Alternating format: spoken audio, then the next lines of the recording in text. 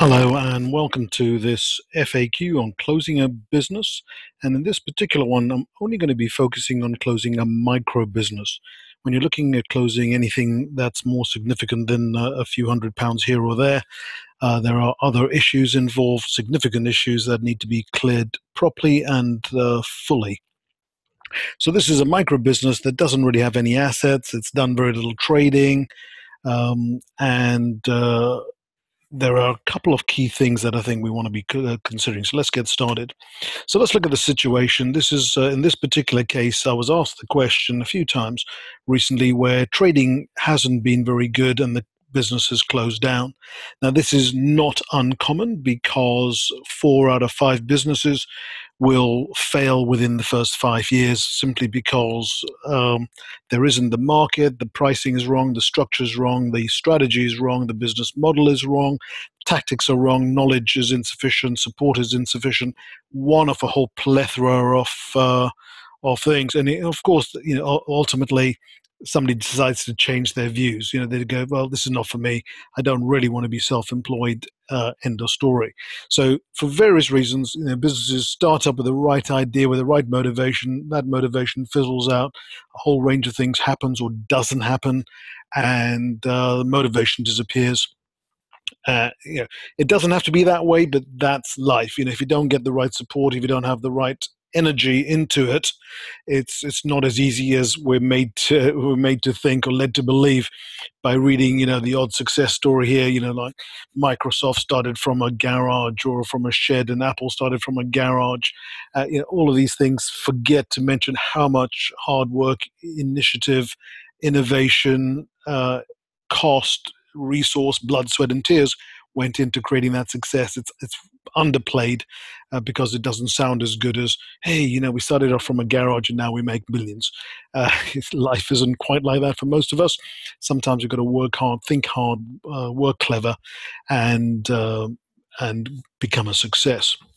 So anyway, it, it hasn't happened. Uh, let's not get too far into why it's failed. So now we get into the situation. What are the options of closing down this company? And I'm assuming it's got no assets, uh, very few liabilities. And the first one is to close down the company. Now, when you're closing down the company, uh, there are a couple of risk areas you need to be aware of. The first one, of course, is that there may be a liability that you haven't considered. So there may be a claim against your business for a supply of service or a product that you've had that it may do damage to someone. There may be a professional indemnity insurance. There may be a personal liability insurer claim. It could be anything depending on their product. And so when you're closing the company, it's really important, really important to make sure you're covered on all of those elements. And one of the most secure ways to do that is to unfortunately liquidate the company through a liquidator. That typically costs between uh, three and five thousand pounds. In most cases, it's unpalatable and um, way too expensive. Uh, you, know, you paying three to five thousand pounds to shut down a company that's done virtually nothing and has virtually nothing the money has to come from somewhere. It'll come from the director's resources, uh, which saps their wealth. You know, not a great option. But if you haven't traded at all, this is a good option because if you haven't traded at all, uh, you could just uh, apply to Companies House to shut it down. There's no one who could have a possible claim on you because you haven't traded at all. You haven't supplied anything. You haven't said anything.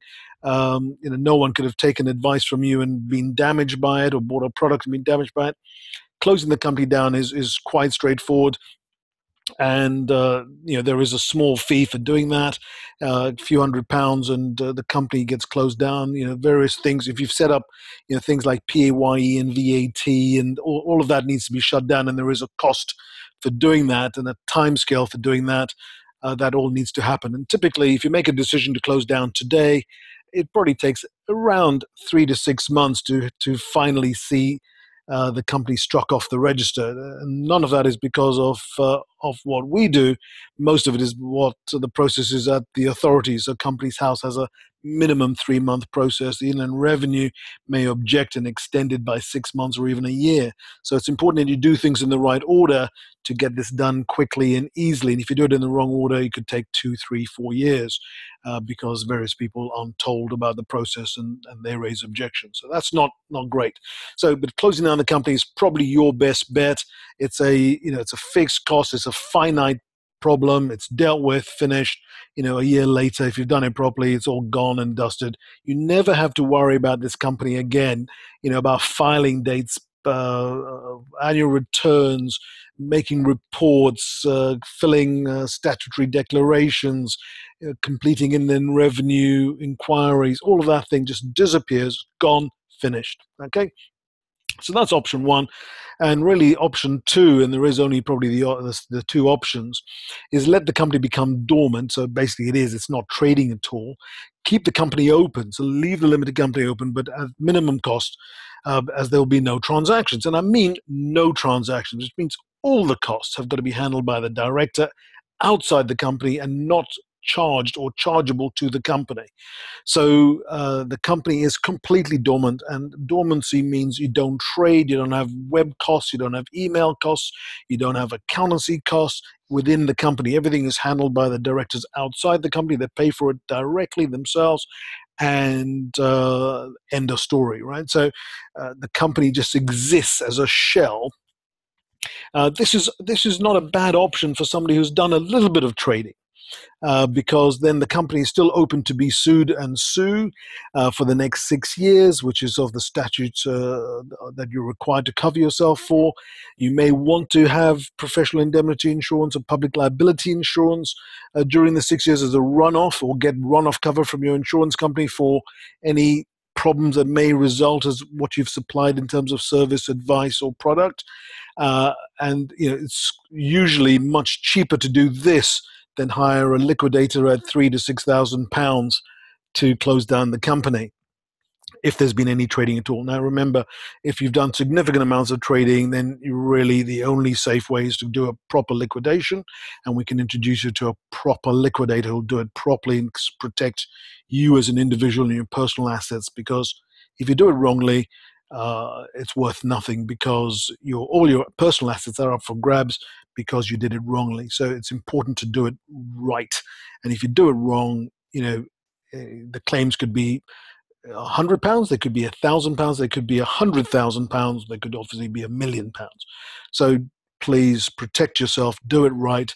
If the company, so here the company can be dormant, you need to file uh, returns every year, but the returns are very straightforward. There's a, again a small cost for uh, for filing those returns, but you've got the responsibility, of course, of making sure that you you know you you are you've got to answer emails and take care of routines.